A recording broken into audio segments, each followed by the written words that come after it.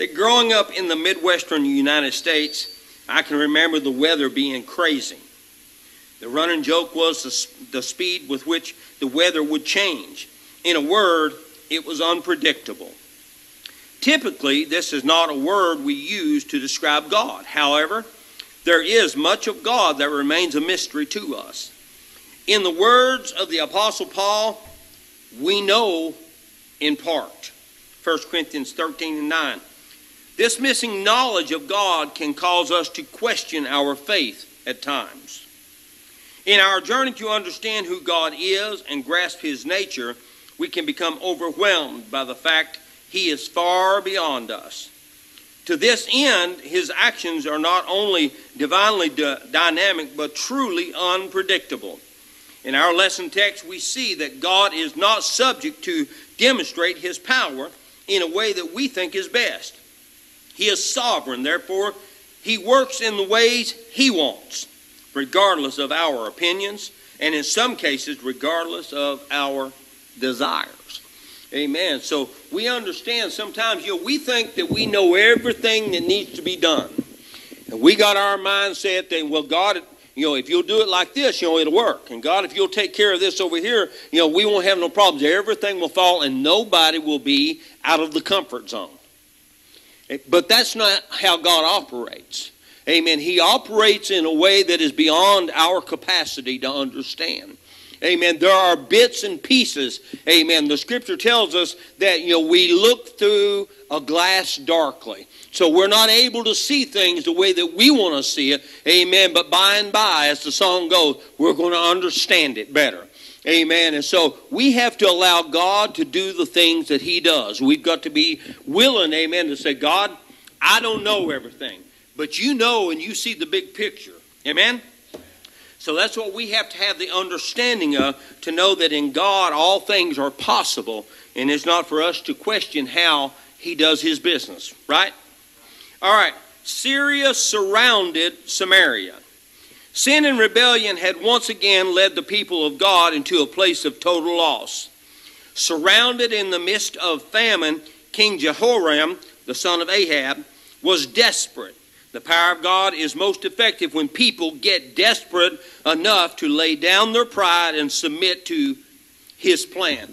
The problem is is we are in a world that people like to do things their way. Amen. But we can never forget this is not Burger King.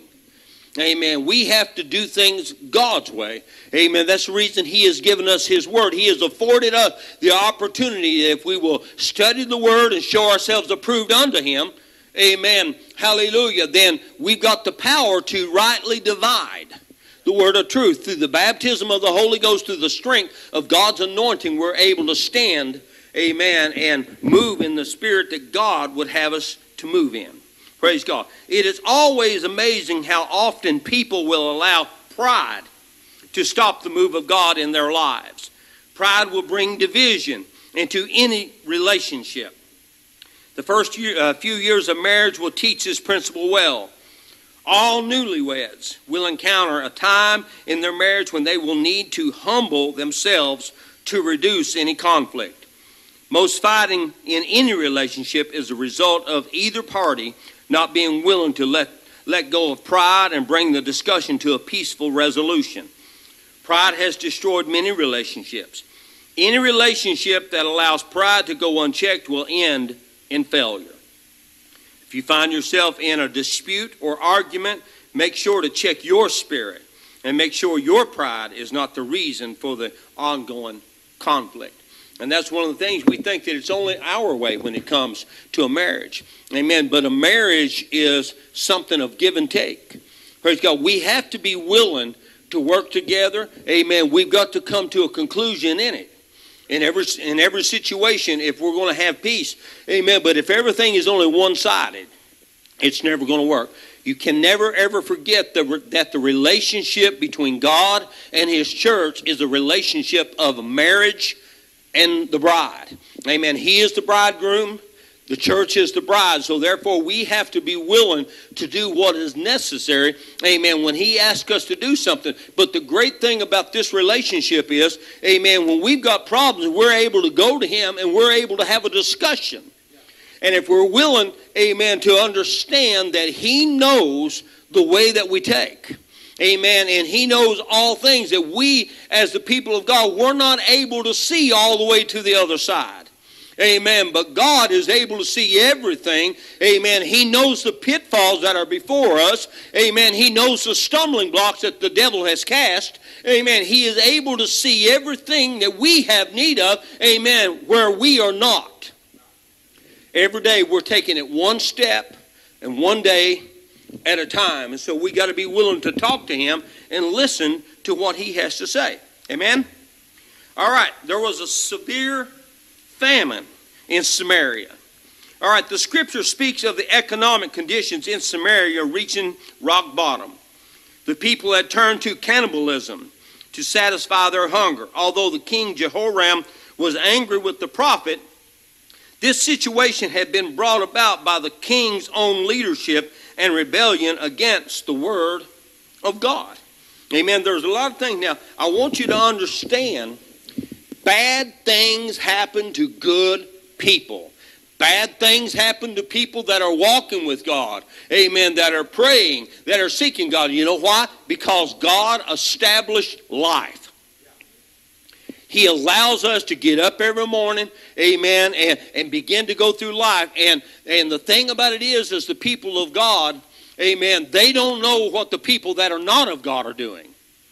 That's the reason, amen, people gets out on the street and, and, and, they're doing all manner of things. You're driving down the road and you're obeying all the laws and you're doing, and somebody else can cross the center line. Somebody else can run the red light. Somebody else can do something that they're not supposed to do, amen. And it causes the people of God to suffer, amen, because somebody else is not doing what they're supposed to be. That's life.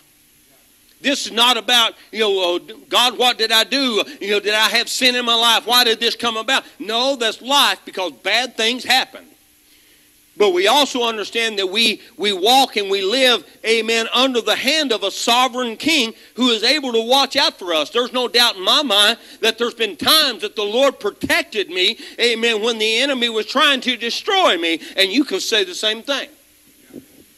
Praise God. So while we're in this life, what does the scripture say? You shall have troubles. You shall have, you should have persecution. Amen. We're going to have tribulation in this life. He told, he's not hiding anything from us. Amen. We're going to have struggles and problems in this life. Amen. Because it's life. Right? Amen. So reading on, it says, you know, uh, uh, the people in Samaria that were beginning to turn, they, they were eating their own babies. They were starving to death. Destruction was coming upon them with no doubt. Amen. And, and uh, it just keeps coming back to my mind a message that I preached uh, last year around uh, February or March. You know, we can't just sit here. Something's got to change. Amen. If you sit there and you do, and I've, I've told this over, if you sit there and you do the same thing that you've always done, you're going to continually get what you've always got. Amen. I want to tell a story, but I won't.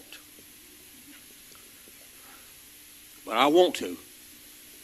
Amen. All right, so what is beautiful to consider is the tremendous miracle God performed in the Great Depression of Samaria. This story should remind its leaders that God's omnipotence is not limited to spiritual troubles, but includes economic and financial matters as well. All right, Elisha prophesied. In this setting, the king of Israel turned to the prophet Elisha for direction. Some believe the word of the Lord that, that came from the prophet, others did not. Amen. Do we have to deal with things like that?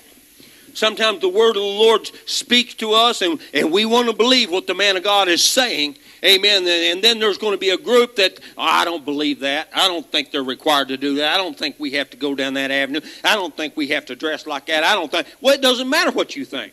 It doesn't matter what I think. What does the Word of God say? That is what we will be judged to. Amen. According to the written Word of God is what we will be judged to according to God's laws. Amen. I told I told Barbourville the other night, and I was talking about you know when uh, uh, when we're driving down the road, Amen. And and you know, and people they're reading the Bible and they say, well, you know, I just don't have a conviction about that. I don't, you know, I don't have a you know uh, any kind of, of, a problem with uh, uh, with uh, you know, the thing the Bible says. No, I'm not supposed to do that, but I'm not convicted, so therefore it's not. Hey, that's not what the Bible says. Amen. If God wrote it down or had it written down in the Word of God, amen, it is not something that we can question, it's something that we obey. So when, when you run through that red light or you run through that stop sign, amen, and you go plowing through there and then the blue lights start flashing and they pull over and, and the officer walks up and says, uh, Yes, you know, can I see your license and registration and your insurance card? And you reach over and get it, and, and he looks at it, and then he said, Well, do you know why I pulled you over? No, Lord, I'm, or not Lord, no, officer, I'm really not sure about this. And he said, Well, you know, you just went through that red light. You just went, went through that stop sign. And then you look over and say, Well, I don't feel convicted about that. I don't have no problem with it. There wasn't no cars coming. You know, what was the need of me stopping and waiting for a car to come? Amen. You know, sitting under that red light. So why do I have to wait on? There wasn't anybody coming. I never broke no law. I'm not convicted about that. And the officer said, Oh, pardon me. I'm so sorry for my mistake. You go on about your way. Not. That's not how God operates. That's not how the law operates. He wrote it down for us to submit to, praise God, and the laws of our state and our government, they're there for our protection. Doesn't matter if you got a conviction about it or not. Amen. It's a matter of obedience to the Word of God, to the laws of our land. So Elisha prophesied, and there were some people, they, they agreed with it. And then there was always some amen, that's not going to agree with it. And we deal with that on a regular basis. Those who believe the gospel will be partakers. But those who refuse to believe may see but uh, may, uh, may see but not be able to practice or partake. Here we also have the same imagery as Moses and his final days. Because of Moses' unbelief, it was not allowed to enter the promised land. Numbers 20 and verse 12. A mistrust in God will always cause a person to miss out on the glorious things he planned. Now, God shouldn't have kept Moses out of the promised land. He dealt with all them rebellious people for 40 plus years. He you know, he was God's man, and, and, you know, and he worked, and he heard the people griping at him and fussing at him and, and, and screaming at him and threatening to kill him and, and all this stuff. God should not have kept Moses out. Well, who made you law? Who made us? Amen. The ones to dispute what God's planning is. Amen. The fact of the matter is, oh, God wouldn't keep me out of heaven for that little white lie. God wouldn't keep me out of heaven just for that little bitty thing. You know, it, it's so significant, it's only one verse. God wouldn't do that to me. Well, He kept Moses out. If God would not even allow Moses to go in because of his disobedience, because of his rebellion, any way you want to look at it, God told him, said, strike the rock the first time. The second time he told him, said, Speak to the rock. Moses hit it again. Hey, you don't strike the Lord the second time. Amen. Moses disputed with God, amen, thinking that he was going to do it his way. Well, it worked this way the first time, so I'm going to do it again. So he made himself God. He made himself law. He made himself the order of the land, and it cost Moses from going into the promised land. Who are we to think that we don't have to obey the laws of God just because we don't think it's significant? I am teaching about unexpected ways.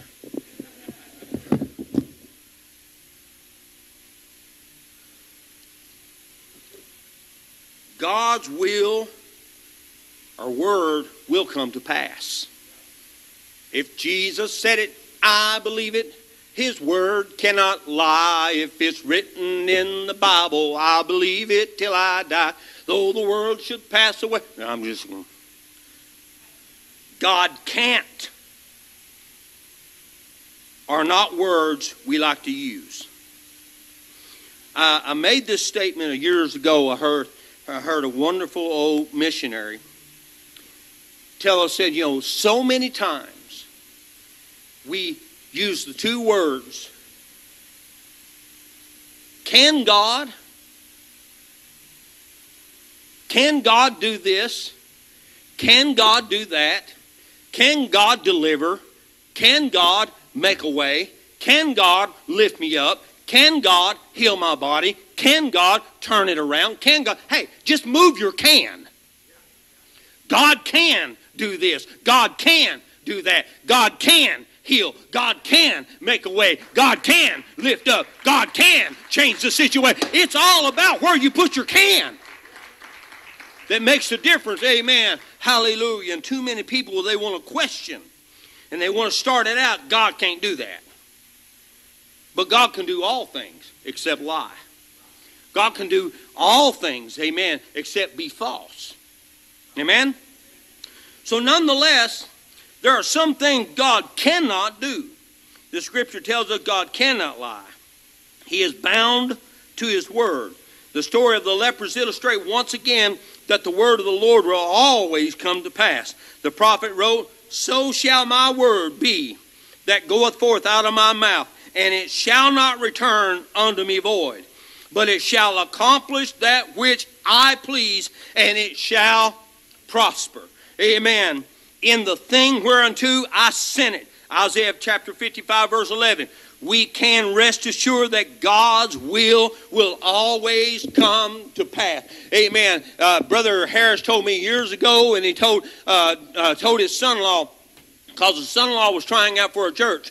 Amen. And Brother Harris told him, he said, you know, amen, sometimes God's will is not the people's will. It's God's will for us to do this. It's God's will for us to do that. But sometimes we're warring against flesh amen, that are not in obedience to God's will. They're not submitted to God's plan. They're not following through with what, with what God had called them to do. Therefore, God allows us to take the choice that we want to take. But for those that love the Lord, those who pray, those who seek God, those who are interested in the ways of God, amen, God's will will always be performed in their lives. Amen. And he will use some of the most unconventional ways, according to us, to bring his will to pass. Can you say amen? Four lepers at the gate of the city. Banished to the outskirts of the city, the four lepers are the ones God chose to bring salvation to the Samaritans. These unlikely and unqualified outsiders changed the course of a nation and gave another chance to a king to get it right. It seems as if it is often the people no one would expect whom God chooses to use in his plan. Amen. I'm telling you right now, Never ever dreamed the first time that I bowed the knee to the Lord and He touched my life. Amen. I had hair uh, down to my shoulders. I was greasy. I was nasty. Amen. And God picked me up out of my despair. Amen. He picked me up out of my situation. He turned my life around. Amen. He set me up on a straight street. Amen. I never ever dreamed that I would ever preach the word. I never ever dreamed that I would ever cry out to God. I never ever dreamed that those things would take place. But God used uses people that you never thought he would use. God will use me, and if he will use me, he will use you because he is no respecter of person. Amen. He's looking for somebody to say, use me, use me, Lord. Bring me. Hallelujah. Let me do what you would have me to do, oh God. For those people, amen, the people you never ever thought about are the very ones that he will use. The Richmond church they're going to have somebody come and preach for them next week. Now, you all are not to repeat this. It's on, it's being on, so he might be watching it. This young man, he was about this tall. we come, we come into camp. About this tall. We were walking in towards the tabernacle, and he come up to us, or came up to me. He said, "Sir," he said, "Can you give me fifty cents? Pop machines at camp were fifty cents. Can you give me fifty cents to buy a pop?" There you go. Thank you. And me and my family, we start on over to the tabernacle. I seen him run over to all of his buddies over in the, in the pavilion. He had a whole pocket full of change.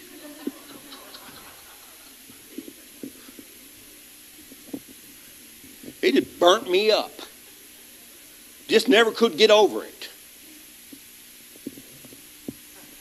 The little snot. So last year he came before the board to be licensed. And before he came in there, there he was, Jason Perry.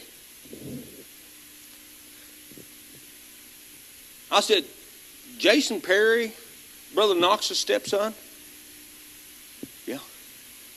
I said, that little snot. And I told the district board what he done. Yeah, he was that tall. You know, that's some people look at that. You know, he he had he was an entrepreneur. And so Jason comes in with his wife, and they sit down. And Brother Marshall said, Brother Thomas, I'd like for you to tell Brother Perry your little story you told us before we came in. So he's all wide eyed, standing before the board.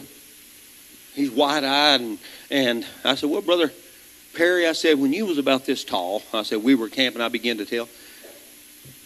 And he said, Brother Thomas, he said, I might have done it. but when we ask him to tell us his burden, he just began to break down and cry. The anointing of God came up over that young, man, and just like that, just that quickly, all I could see was the presence of God upon this young man. You see, God will use some of the most unlikely people you've ever spoke of. He will use you. He will use me, the ones he's interested in, who is willing to humble themselves before God. That's the one he's going to use. That's the one he's going to touch. That's the one he's going to lift up. That's the one, amen, he will make a way with. Amen. Who would have ever thought that God would have used four leprous men that were unclean? They weren't even allowed to come in and be around anybody else, but God used them to bring a miracle about. That's the God that we serve. Amen? Praise God. It seems as if it is often the people no one would expect whom God chooses to use for his plan or in his plan. For Abraham to Jacob, from Gideon to David, God has consistently empowered those who did not match the standard of what some would call great. This is even seen in the 12 men Jesus chose to be his inner circle. Jesus called the disciples to have significant insight and receive unrestricted access to his ministry. Yet the religious leaders were astounded.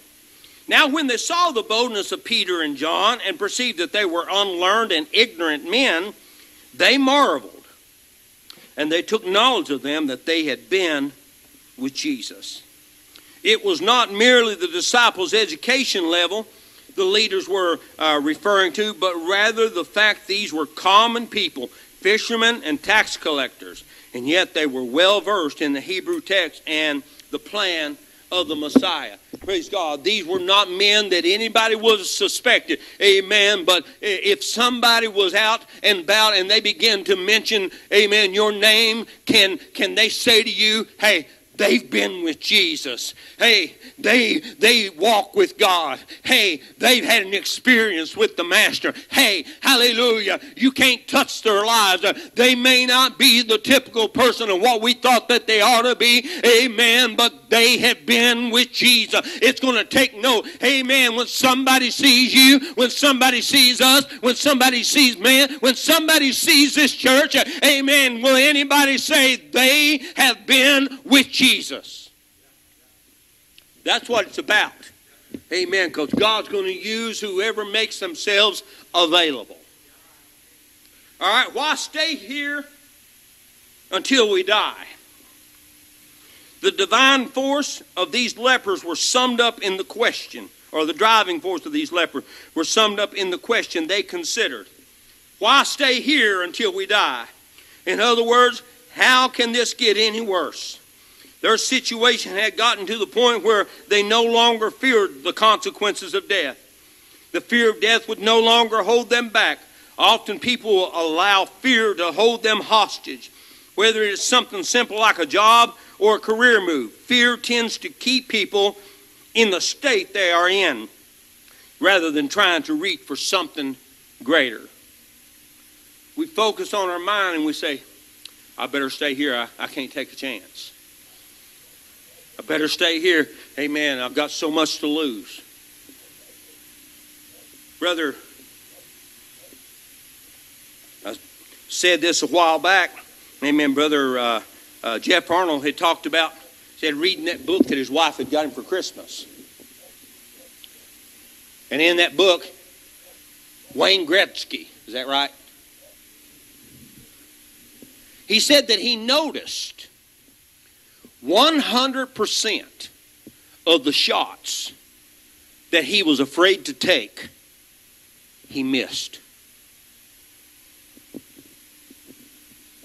If you're not willing to take the risk, you're never going to move forward. How do you know God ain't going to heal that individual when you lay your hand on them? How do you know God isn't going to deliver them when you pray before them? How do you know God isn't going to use you, amen, to bring about salvation for a whole household? How do you know unless you take the shot?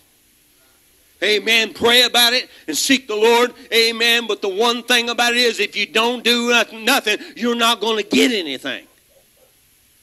We got to be willing to say, hey, it could very well be that God's going to use me to bring about this deliverance. It could very well be that God is going to use me, amen, to witness to them. It could be, amen, that God is going to touch my family because I ask. That's what makes the difference. Fear is something all humans share. In many ways, fear is a major factor in every life choice a person makes. Fear can be a good thing. A healthy fear will let us know when something is wrong. It will ensure that our children and loved ones are cared for and safe. However, fear can also become unhealthy and irrational. The spirit of fear can gain strength when unchecked in our lives. 2 Timothy 1 and 7. As believers, we must make up our minds that fear will not hinder the progress of the gospel, nor will it keep us from everything God has in store for our lives. You don't know.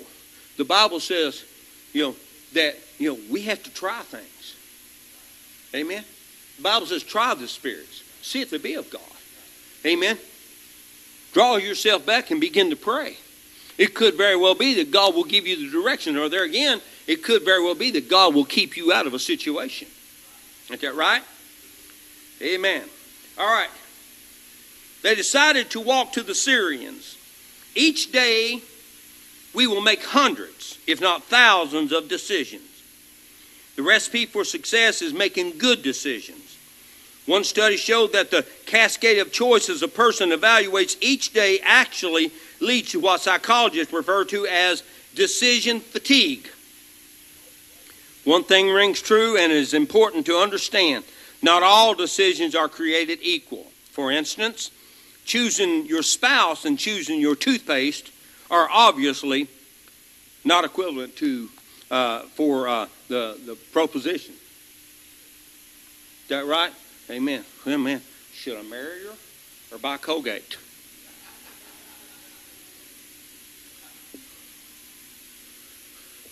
You know, and she's got beautiful hair, but this is 3D whitening. You know, it, it's a, it's a matter of how you look at things, isn't that right? For instance, I've done said that, so let me let me get on down. The four lepers were faced with the decision that would determine the fate of their lives and the destiny of a nation. Understanding the gravity of our decisions is paramount in our walk with God. There may be some choices we will make today that will set us on a path of growth or lead us down a path of destruction. All right, God drove the Syrians away. Those four lepers, they began to make their way down to the Syrian camp. All the Syrians heard were the sounds of an army coming. They heard the sounds of chariots. They heard the sounds of horses running. Amen. They heard the sounds of arms to the place that they were so fearful they didn't try to save anything. They just ran for their lives. There's no telling what God will use when we get up and begin to make our way towards God's will. Amen. God orchestrates all manner of things in our lives if we make ourselves available to Him. Isn't that right? Praise God. God will always fight for His people. This story shows that God is more than just in our, uh, in our corner. In fact, there are uh, moments in life when we are too weak to, or too overwhelmed and exceedingly overmatched. But it is in those situations when God steps in and fights the battle for us. Over and over, stories in Scripture describe the way God defends his people. Standing on the edge of the land, promises to their fathers. The children of Israel saw an enemy of great power occupying their destiny. In the midst of their fear, two people reported the victory within, uh, was within reach. The word of the Lord came to the people affirming the faith of Joshua and Caleb. The word was a consistent message to the people of Israel. The Lord said, The Lord your God, he shall fight for you. Deuteronomy 3 and 22. The messenger of assurance was re- repeated multiple times throughout the journey of Israel to the promised land. We should never forget the battle always belongs to God. I don't care if there's just one of you.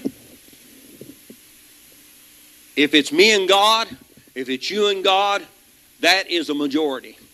Amen. Because God, if He can speak and did speak this world into existence, amen, if He spoke, amen, and light and darkness was separated. Amen. When he spoke, amen, the waters was separated. Amen. When he spoke, the grass and the herbs and all these things come to pass. When he spoke, the creeping things came upon the earth. We serve a God who is able to do exceedingly, abundantly, above all we can ask or think. Amen. Anytime you're looking towards the Lord and you're getting the direction of God, God will never lead you astray. That's the enemy's business. Amen. God's business is victory. Amen. And when it's me and God, amen, no weapon formed against us shall prosper. Amen. God is with us because the weapons of our warfare are not carnal, but they are mighty through God to the pulling down of strongholds. Nothing can separate us from the love of God principalities, powers. Amen. It doesn't matter if it's a if it's evil men or wicked men in high places. It does not matter. Amen. When we're trusting the Lord, God can use some of the most unusual circumstances you've ever you know, you've ever even uh, allowed yourself to see. God can use you. Hallelujah. God can use me. God can use us. God can bring about victory. Hallelujah. In the most dire circumstances. Amen. Don't cast it astray. Amen. If God said it, I believe it. Amen. Let's clap our hands to Jesus right now. Hallelujah. He's just looking for somebody that'll volunteer. Amen. He's not going to make you do anything. He won't do it. He'll let you choose. And that's what it's all about. All right, God responds to hunger The hungry always seem to get God's attention. Jesus, standing in the midst of more than 5,000 people, said, Blessed are they which do hunger and thirst after righteousness, for they shall be filled. Both spiritually and physically, it would seem God cannot resist those who hunger and thirst. This fact is deeply rooted in his character. We see his uh, compassion for humanity scattered throughout the Bible. God himself told Moses that his compassion is given by himself alone. God said, I will be gracious to whom I will be gracious and will show mercy on whom I will show mercy. You see, sometimes we put it in our mind, well, God's word says thus and so. God never ever contradicts his word. Amen. But in our in our ways of thinking and in our flesh and our carnality, we want to bind the hands of God. But God said, "I will be gracious to whom I will be gracious. I will have mercy upon whom I will have mercy." It is not our position to dictate whether somebody has got it or somebody doesn't have it. Amen. If God chooses to have mercy upon them, then let's say, "Hey, hey, let God's will be done."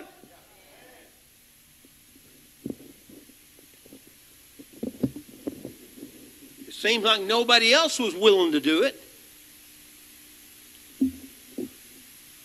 When the woman come to the king and said, well, you know, me and this woman, we were having to share share an apartment.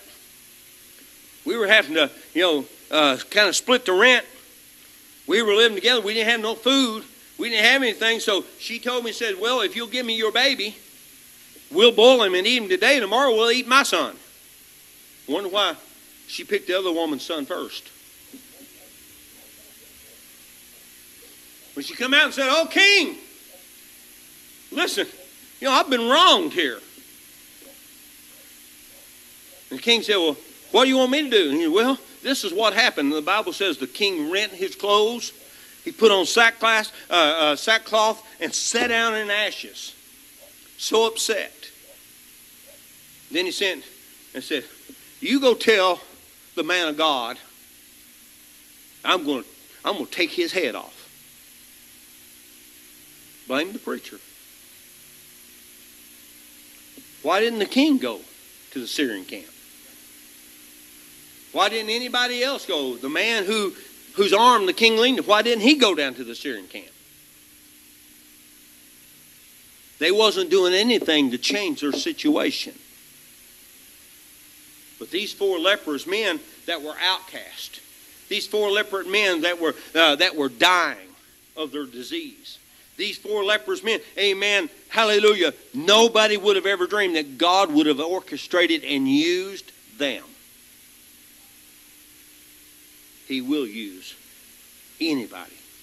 They didn't realize it because many times God uses it and we don't even realize how He is orchestrating His will in our lives. It's just a matter of listening to that voice and getting up and moving forward. Isn't that right? Praise God.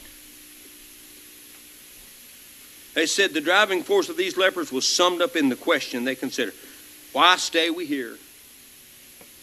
So God drove the Syrians away. It says, standing on the edge of the land promised by their fathers, they're looking and they're thinking, Whoa, why sit here? Until we die. If we go in there, we're going to die. If we sit here, we're going to die. At least if we go down to the Syrian camp, you know, if they save us, then we'll live. In this story, we see a small example of what happened when people are in need. God responds to the hungry. Of course, hunger is not the only requirement to get a response from God. God is faithful to his people. David said, I have been young now I'm old. Yet have I not seen the righteous forsaken, nor his seed begging bread. Psalms 37, verse 25. God's people can trust him to care for the physical needs and to know that he responds to our faith for greater or greater needs as well. He's going to respond, amen, when we cry out unto him. Amen. We're almost done. To flip over to internalizing the message. In December each year, we gather together to celebrate the birth of Jesus Christ. This one event has captured the attention of every believer, and it still stands as a sign of those who have yet to believe. It is often curious to consider the thoughts of those who were there to witness the birth of Christ. What did they think? Did they have a clue about what it meant to be the Messiah? Even with a little knowledge, even with a little knowledge, it seemed clear that no one can know for sure what God, what plans God has for his people. The apostle Paul said, "Now we see through a glass darkly." 1 Corinthians 13 and 12. Meaning there are many things about which we simply do not have a clear picture. The imagery here is looking at a foggy window and trying to determine what is being reflected. In our lives, we must find the room to trust God with every decision. Like the lepers, we cannot know for certain where or when God will choose to bless, deliver, heal, or save. Our job is not to figure out the method, but rather trust that God knows and will be faithful. Can you say amen? Let's clap our hands to the Lord as we stand. Thank you, Jesus. Appreciate the Lord so very, very much. Amen. We're going to go into, into this time of break for the next few minutes. Amen. So if you will, let's bow our heads. Lord Jesus, we're